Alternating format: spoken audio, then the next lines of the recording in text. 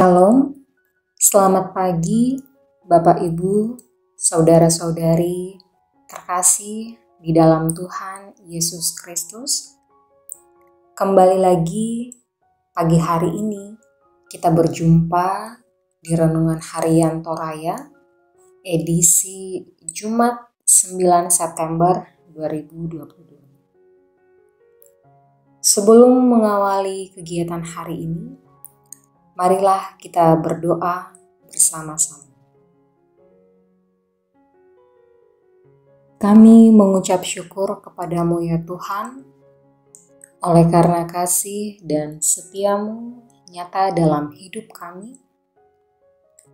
Kami bersyukur untuk penyertaanmu sepanjang malam yang telah berlalu. Kami masih diberi nafas kehidupan hari ini.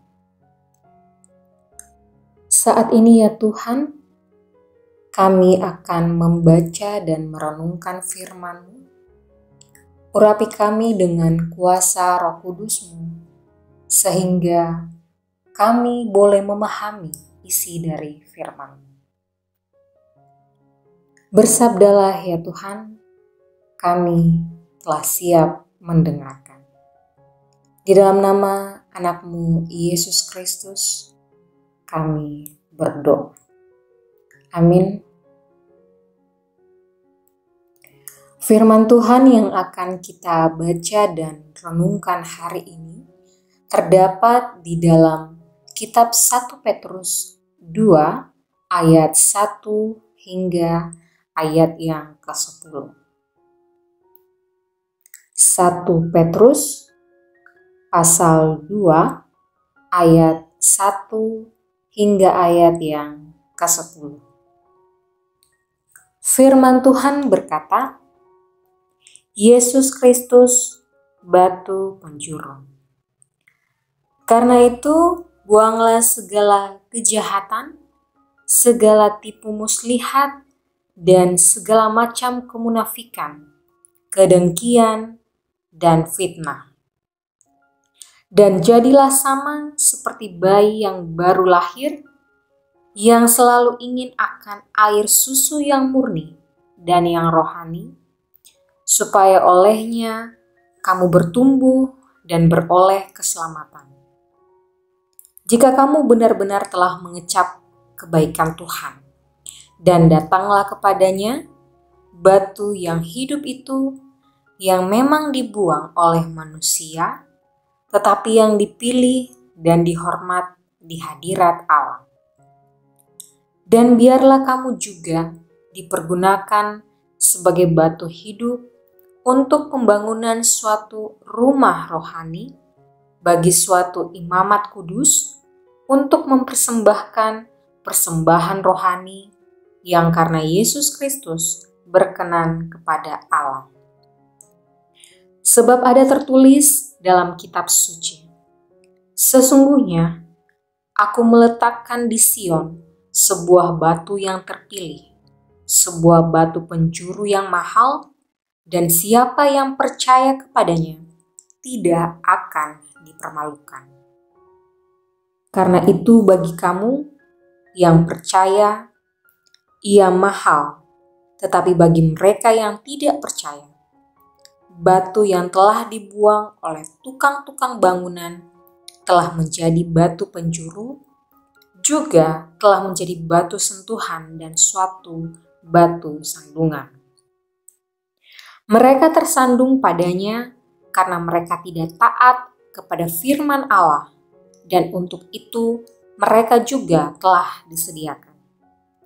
Tetapi kamulah bangsa yang terpilih, imamat yang rajani, bangsa yang kudus, umat kepunyaan Allah sendiri, supaya kamu memberitakan perbuatan-perbuatan yang besar dari Dia yang telah memanggil kamu keluar dari kegelapan kepada terangnya yang ajaib. Kamu yang dahulu bukan umat Allah, tetapi yang sekarang telah menjadi umatnya, yang dahulu tidak dikasihani, tetapi yang sekarang telah beroleh belas kasihan. Amin firman Tuhan. Renungan kita hari ini diberi judul Jadilah seperti bayi. Ya Bapak Ibu, saudara-saudari yang terkasih di dalam Tuhan, jika kita melihat bayi yang sedang menangis, apa yang pertama kali muncul dalam pikiran kita untuk menenangkannya. Iya, tentu banyak yang berpikir tentang memberikannya susu sehingga bayi itu berhenti menangis. Hal itu karena bayi selalu ingin susu ketika ia lapar. Jadi wajarlah ketika bayi itu menangis, kita akan memberikannya susu. Susu yang baik juga akan membuat bayi itu bertumbuh dengan sehat. Demikian pula digambarkan dalam perikop pembacaan kita pada hari ini, bagaimana kehidupan orang percaya harus seperti bayi yang rindu meminum susu yang murni dan rohani. Umat Tuhan digambarkan sebagai bangsa yang telah dipilih Tuhan, bahkan kepunyaan Allah sendiri yang telah dipanggil dari kegelapan menuju kepada terangnya yang ajaib. Untuk itu, mereka harusnya hidup bukan lagi dengan kehidupan duniawi. Mereka harus membuang segala kejahatan, tipu muslihat, dan segala macam kemunafikan, kedengkian, dan fitnah. Bukan hanya sekedar membuang yang tidak baik, tetapi mereka harus merindukan kebenaran seperti seorang bayi yang ingin akan susu. Sehingga batu penjuru akan menjadi batu hidup dalam kehidupan mereka untuk terus memberitakan perbuatan Allah yang besar. Mereka harus mengingat bahwa mereka yang dahulu telah berbeda dengan yang sekarang. Sekarang mereka adalah umat Allah.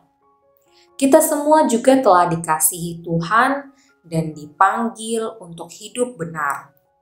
Kita membuang semua perbuatan yang tidak berkenan kepada Tuhan yang sering kita lakukan.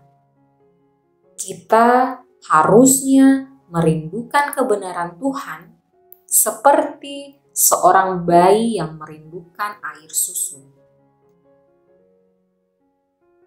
Mari, Bapak, Ibu, saudara-saudari yang terkasih di dalam Tuhan Yesus Kristus, marilah kita hidup di dalam kebenaran, karena kita adalah milik Tuhan.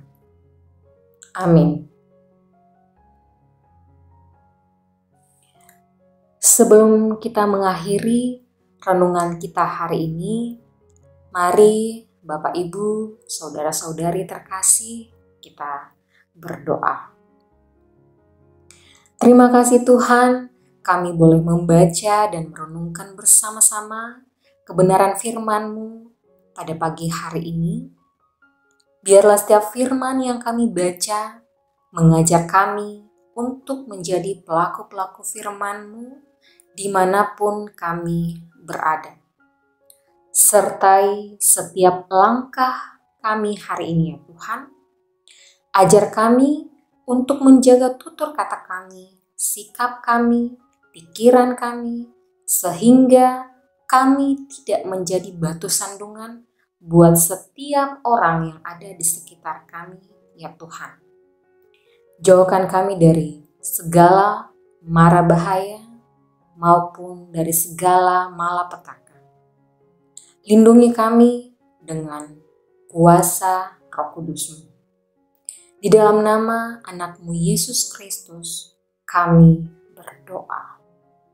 Amén.